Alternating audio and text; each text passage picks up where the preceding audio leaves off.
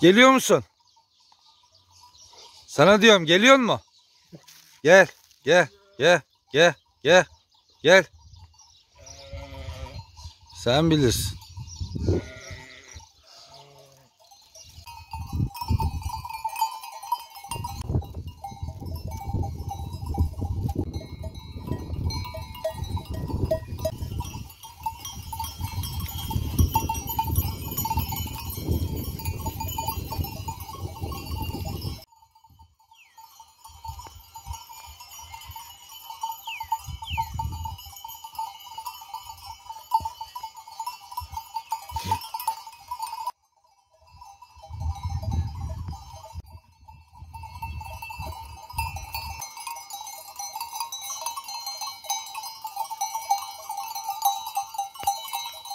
Hanımlar beyler, Mutlu İnsanlar Şehri Kırklareli'den, Yürükbayır Köyü'nden hepinize selamlar, saygılar.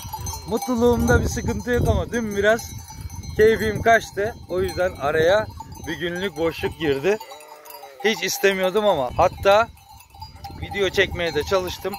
Keyfim biraz kaçık olunca baktım olmuyor. Çünkü video çekerken de keyif alamıyorum. Ben keyif almasam siz hiç keyif alamazsınız diye araya bir günlük boşluk girdi efendim. İnşallah o bir günlük boşluğu da telafi edeceğim. Tabii keyfim niye kaçtı? Geçen gün hatırlarsanız kaçan koyunum vardı. Onun peşinde koşarken ayağımı burkmuştum. Sen bugün beni böyle uğraştıracaksın mı? Seni bak. Allah'ım ya Rabbim böyle sürüyü terk edip kaçan koyun da ilk defa görüyorum. Ulan sürünün peşine gider koyun. Hepsi gitti mi? Bu alıyor başını gidiyor. Bak girdi ağaçların içine. Allah'ım ya Rabbim lan sürü gitti sürü. Bak. Çay.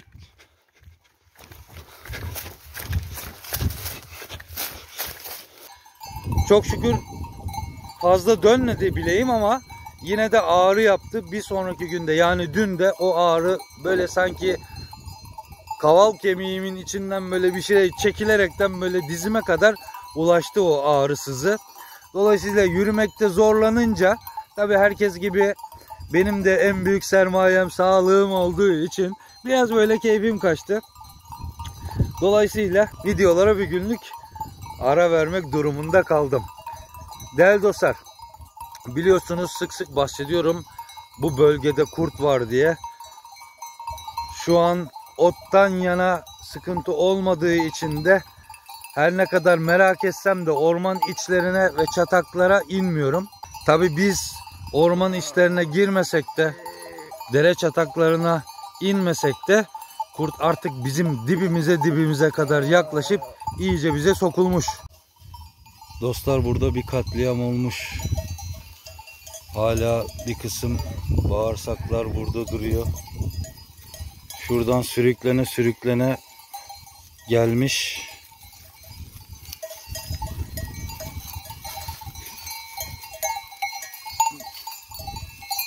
Tüylere bakılırsa keçi bu.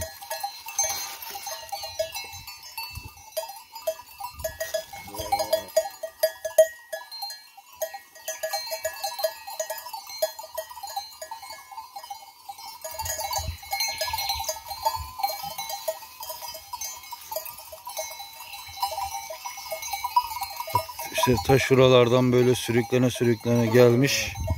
Artık burada parçalamış. Bizimkiler de artıkları yiyor.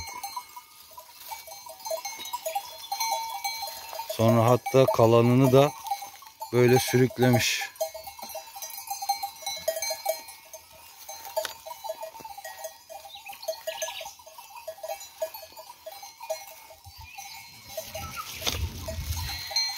Lan ödümü kopardınız.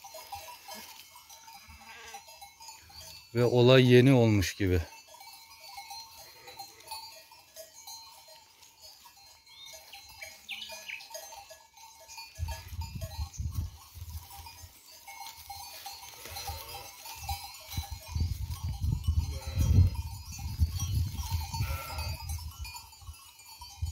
Bu görüntüleri de görünce tabii kameradan çok benim gözlerimi dört açmam gerekiyordu.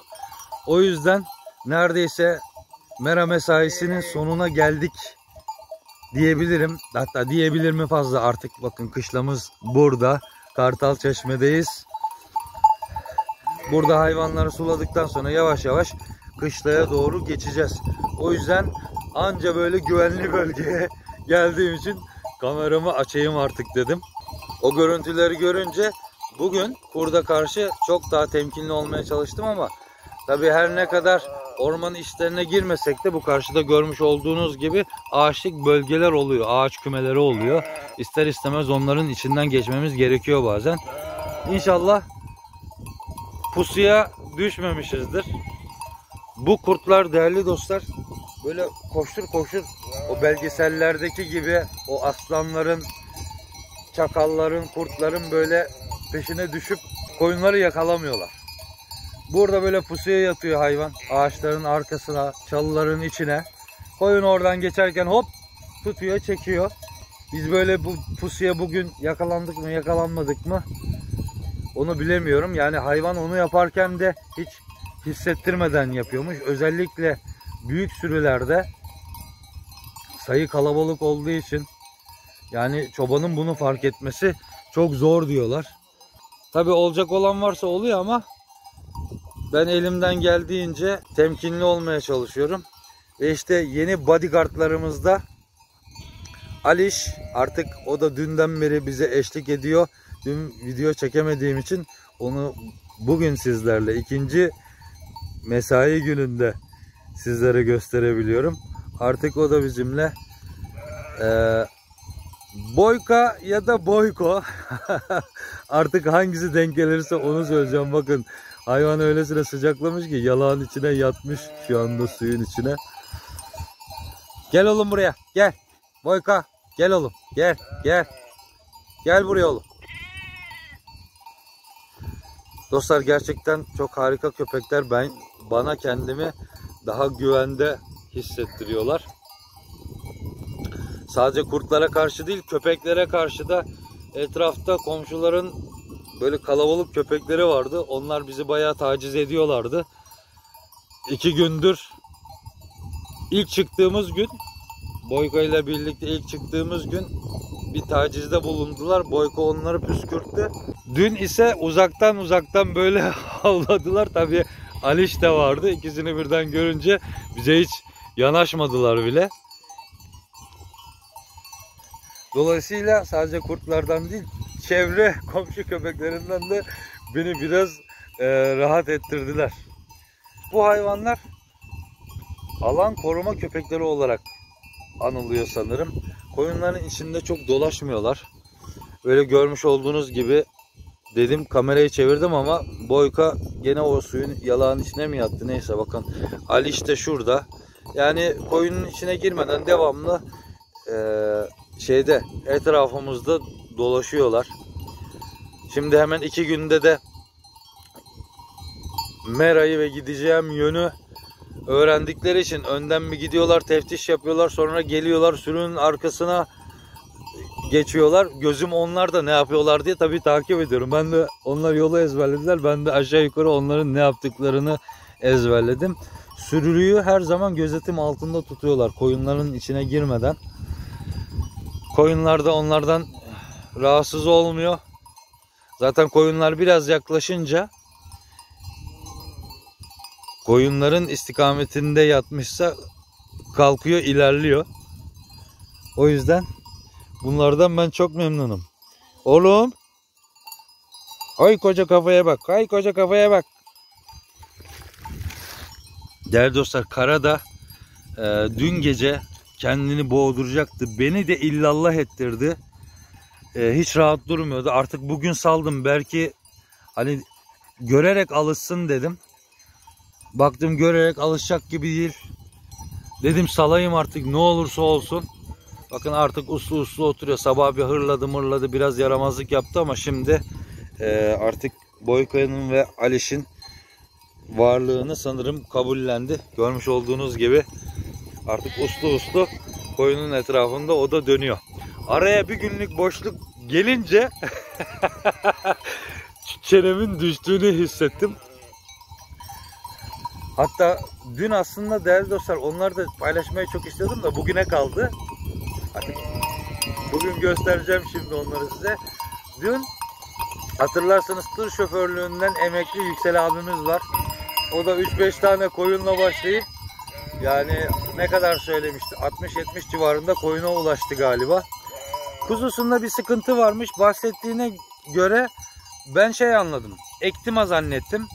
Ektima'yı biliyor musun abi? Olmasın dedim. Ektima nedir bilmiyorum dedi. O da benim gibi şey acemi. O zaman geleyim ben bir bakayım dedim. Dün öğlen saatinde oraya gittim. Ey maşallah. Ata bak be.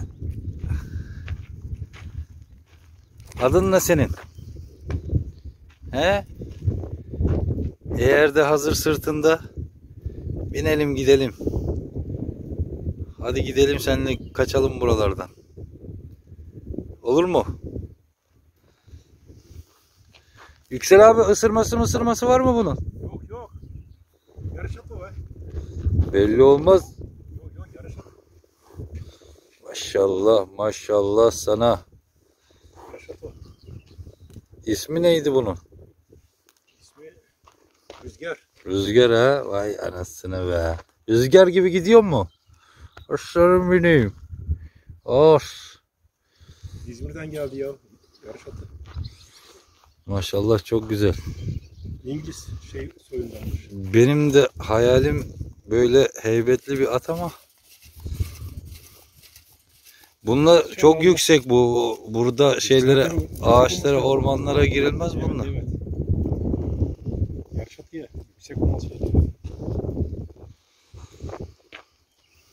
Çok güzel hayvan ya. Çok sakin hayvan ama şu ayaklarını vurdurdu. Hmm, Şu ayakları hep parçalandı. Taşladı. evet geldiğimde daha kötüydü durumu. O kışın gelmiştim buraya da. Ne olsa bu? Ne diyorsun sen de?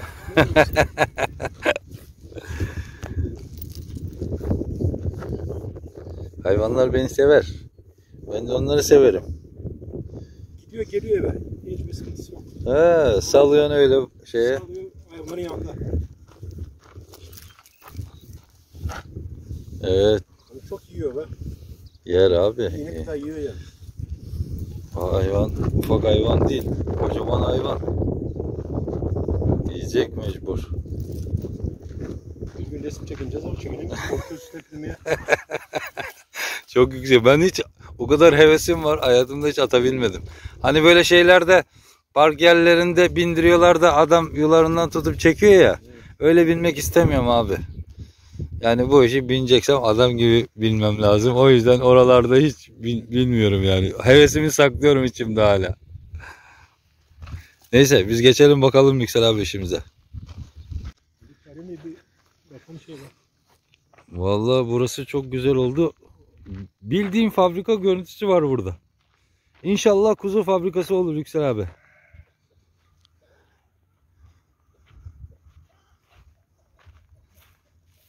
Maşallah maşallah çok güzel.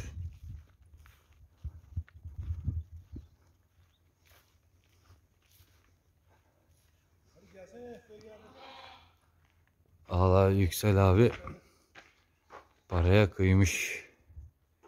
Çok güzel yer yapmış maşallah. Buraya otları mı koyacağım paletlerin üzerine? Ama yine de önüne bir şey koyman lazım herhalde değil mi? Koyunlar yemesin diye. Ya yemeleri bir şey değil. Dağıtıyorlar, ziyan ediyorlar abi. Sıkıntı orada.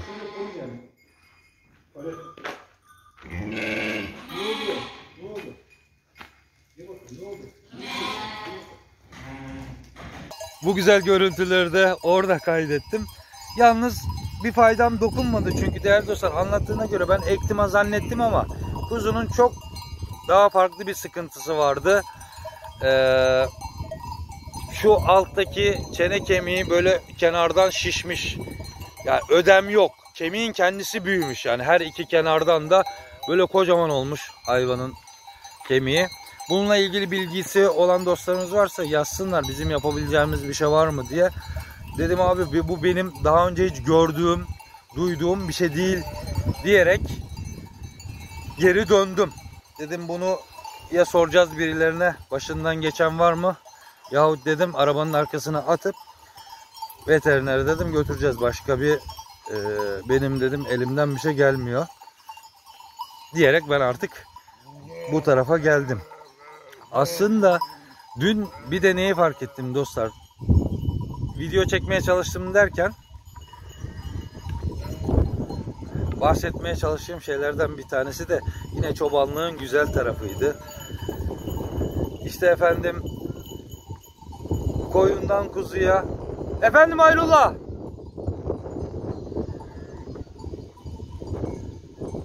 Rüzgardan duyamıyorum geliyorum yanına Rüzgardan hiç anlamıyorum dediklerini Rüzgardan anlaşılmıyor dediklerin. Geliyorum. İnek. Yok görsem arardım zaten Ayrullah. Babanı arardım. He yok yok görmedim. Lan babam beni bir korkuttu bugün. Ağacın dibine yatmış çayırda. Uzanmış oraya böyle. Ulan bir gördüm onu. Ödüm koptu. Yüksel amca dedim. Açtı gözlerini. Ya dedim iyi misin? İyiyim diyor. Uzandım diyor öyle. Ödüm koptu dedim düştü kaldı orada herhalde. Lan arkadaş var yüreğim ağzıma geldi vallahi. Görürsem haber ederim. Hayrullah. Geldik biraz ama galiba oturdu bir gölgele. Ses de. Belki de ya canı sağ olsun da bulunur inşallah.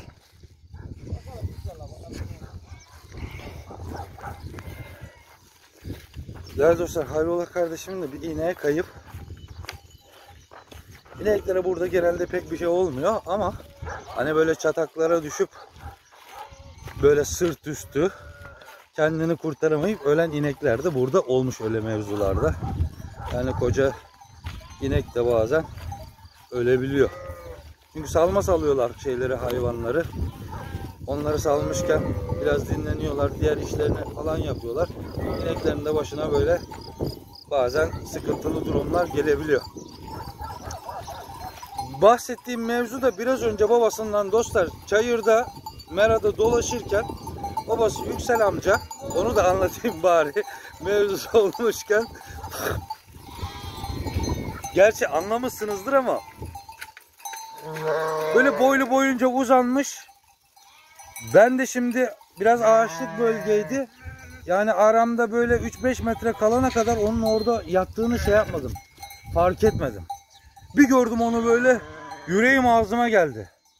Yüksel amca dedim ve açtı gözlerini. Dedim iyi misin? İyiyim dedi uzanıyorum dedi biraz oh dedim rahatladım dedim ödümü kopardın. Meğersem o orada dinlenmek için uzamış ben de adam düştü kaldı bir şey oldu zannettim. Ee, korkuttu beni. Neyse biz böyle mevzuyu anlatırken bir taraftan da şeyler eee, koyunlar artık bakın geldi kapıda bekliyorlar. İçeride sabah o görüntülerde çağırdığım ama gelmediği için sen bilirsin dediğim koyunum gene burada dostlar. Onu niye böyle bırakıyorum? Biliyorsunuz beni koşturdu. Ondan onun yüzünden ayağım burkuldu. Ben yine kuzuyu yemesin diye dışarı salıyorum onu bahçenin içindeki otlarla idare etsin diye e, dışarıda bırakıyorum. Zorla götürürsem o da beni çok zorlayacağı için geliyorsan gel gelmiyorsan sen bilirsin deyip bırakıyorum. Yani başka e, elimden bir şey gelmiyor. Çünkü mera zorlu, kurt tehlikeli. Merayı da bilmiyor olmam durumu daha da zorlaştırıyor. O yüzden e, size ceza gibi gelmesin o koyunun içinde benim için de en hayırlısı bu diye düşünüyorum. Yine sayamadım koyunları.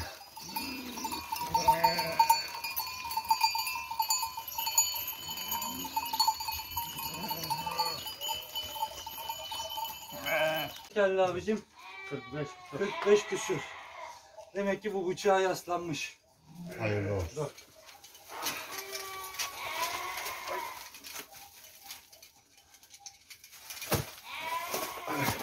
Götürüyorum götürüyorum. Tamam.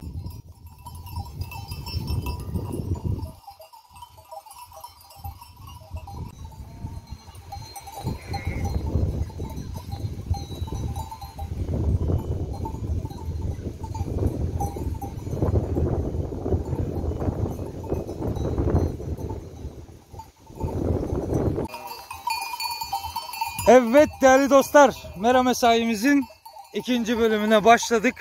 Biraz önceki görmüş olduğunuz görüntülerde geçenlerde tartmış olduğum kuzunun ikinci tartımını yaptım. 38.9 gelmişti 12 gün önce. Bugün ise 45 kilo 200 gram geldi. Yani yanlış hesaplamadıysam bir de siz yapın hesabını. Günlük ortalama 525 gram kilo almış bu hayvan. Daha önce bu şekilde takip etme şansım olmamıştı evvelki kuzularımda. Yani ortalama böyle 400 gram falan bekliyordum. 525 gram olarak hesap ettim. Yanlış mı hesap ediyorum dedim. Bir daha hesap ettim. Günleri yanlış mı sayıyorum dedim. Günleri saydım. Belki 5 defa parmakla saydım hatta böyle. Ama doğru değerli dostlar. 12 gün önce 38.9 gelmişti. Hatta onun bile terazi oynadığı için biraz daha fazlaydı da ben onun ilk gösterdiği rakamı söylüyorum. 38.9 12 gün sonra bugün 45 kilo 200 küsürlü. Ben onu da aşağı çekerek söylüyorum. Yanlış benim hesabımda işte yanlışım varsa düzeltin diye söylüyorum. 525 gram ortalama günlük kilo almış bu hayvan. Maşallah diyelim. Şimdi sabahki görüntülerde daha doğrusu siz biraz önce izlediniz onu. Bizim için sabahtı. O bulmuş olduğum tüy hakikaten keçi tüyü. Orada yaşanan mevzu kurt mevzusu ve o keçi de maalesef Sezer ve Sabahattin abinin keçisiymiş. O olayı gördükten sonra onun da kışların, kışlalarının yakınında olduğu için ve o bölgeye en yakın keçi onlarda olduğu için arayıp söylemiştim. Tabi ben onlara söylediğimde hayvanlar meradaydı. Öğlen arasında onlar da saymışlar. Maalesef eksik onlardan çıktı. O keçi onlara aitmiş. Geçmiş olsun dileklerimi ilettim. Allah beterinden korusun dedik. Evet yani bu tür şeyler oluyor. Hatta kendilerinin aşağı yukarı 10 tane köpeği var. Hepsi de hemen hemen hepsi de yetişkin köpekler. Başlarında Sabahattin abi gibi 45 yılını bu işe vermiş çok tecrübeli bir çoban olmasına rağmen maalesef böyle bir şey yaşandı. Tabi biraz önce de söylemiş olduğum gibi o belgesellerde aslanların, çitaların, o ceylanları kovaladığı gibi kurt koyunu kovalayıp yakalamıyor dostlar veya keçiyi pusulanıyor. Şöyle çalıların arasına, yaprakların arkasına yani onu pusulandığı yerde görmek imkansıza yakın insan için. Köpeklerin işte gelişmiş duyularıyla köpeklerin fark etmesini bekliyoruz. Ama bakın o kadar köpeğin içinde dahi hayvan orada gizlenmeyi başarmış ve keçiyi almış götürmüş. Allah beterlerinden saklasın. Çünkü onlar bir taneyle kurtarmışlar. Ara ara duyuyoruz değerli dostlar. Hani böyle tek bir saldırıda onlarcasını kaybeden sürü sahipleri oluyor kurt saldırılarında. Ben de bu işte acemiyim. Acemilikten ziyade bu mal benim malım değil. İçinde 10 tane kadar benim de malım var ama ben bu iş, bu malın başında emanetçiyim. Kendi malım olsa o kadar üzülmem belki ama yani emanet mala bir şey olursa diye çok endişe ediyorum. Tabi nasipte varsa olacak olanın önüne geçilmiyor ama artık bu saatten sonra çok daha dikkatli olmam gerekiyor. Biliyorsunuz emanet konusunda hassasım. Bu olayı da gördükten sonra artık mahcup olmamak için gözümü dört açmam lazım. Tabi bu, bu zamana kadar da dikkatliydim de bundan sonra daha da dikkatli olacağım. Olay mahallini görüntülerken bir taraftan da böyle yapraklar arasından güneş vuruyordu. Almış olduğum görüntüyü ne kadar alabildiğimin farkında değildim. Öğlen arasında nasıl bir görüntü almışım diye ona bakmak istedim. Olay mahallinde böyle fark ettiyseniz kocaman bir kaplumbağa vardı. Dostlar burada bir katliam olmuş.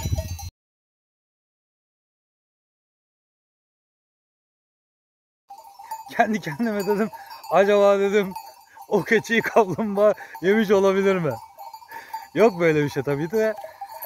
Olayın şokuyla normalde ben gördüğüm her kaplumbağaya selam veririm. Tabii olay mahallinin şoku, heyecanı o kaplumbağayı fark etmiş olsam da es geçmeme sebep oldu. Çünkü ilk defa böyle bir kurt saldırısını canlı canlı görmemiş olsam da olay mahalline ilk defa şahit oluyorum.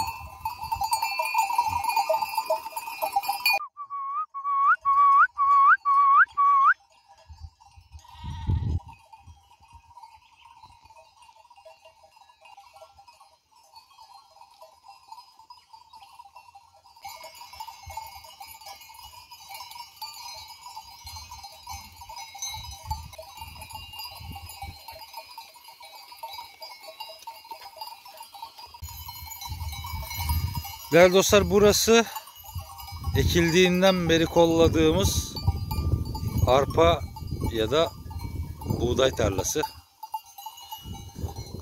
Ama olayın sonunda görmüş olduğunuz gibi koyunlar artık içeride. Biraz önce sahibi olan abimiz aradı. Dedi hayvanlarını sokabilirsin. Dedi orayı biçmeyeceğiz. Biçilmeyecek çünkü olmadı. Sanırım da yağmur olmadığı için, yeterli yağmur alınamadığı için maalesef böyle ziyanlık mı oldu diyeyim. Ne diyeyim? Ota dahi biçmediler. Görmüş olduğunuz gibi koyunları içeri soktum ama onlar bile pek içinde durmuyorlar. Bakın 5 dakika olmadı gireli hemen tarladan çıkmaya başladılar.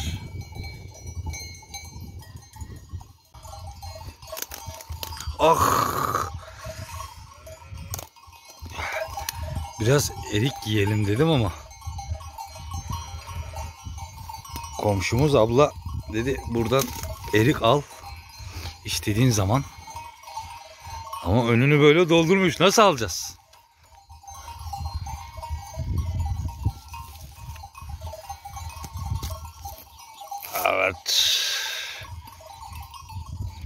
Geçen bir tas dolusu verdi bana şimdi görünce canım çekti gene. Hmm. Güzel erik bunlar.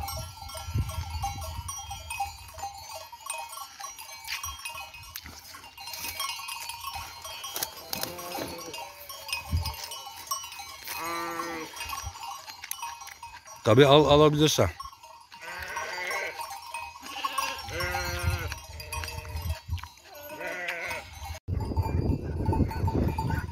Değerli dostlar, görmüş olduğunuz gibi artık akşamı ettik ve mera mesaimizin sonuna geldik.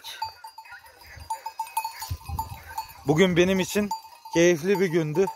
Umarım almış olduğum bu keyfi bu video aracılığıyla size aktarabilmişimdir.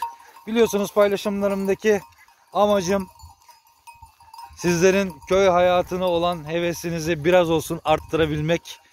Hayvancılık yapma konusunda cesaretinizi biraz olsun arttırabilmek efendim.